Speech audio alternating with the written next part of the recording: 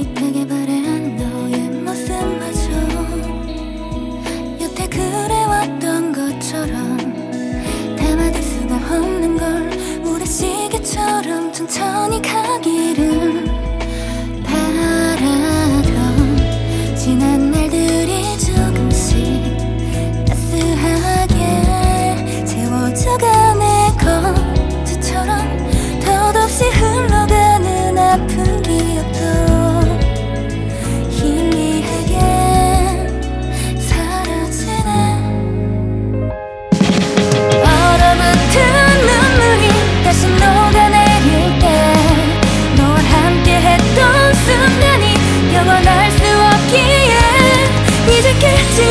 그렇게 모든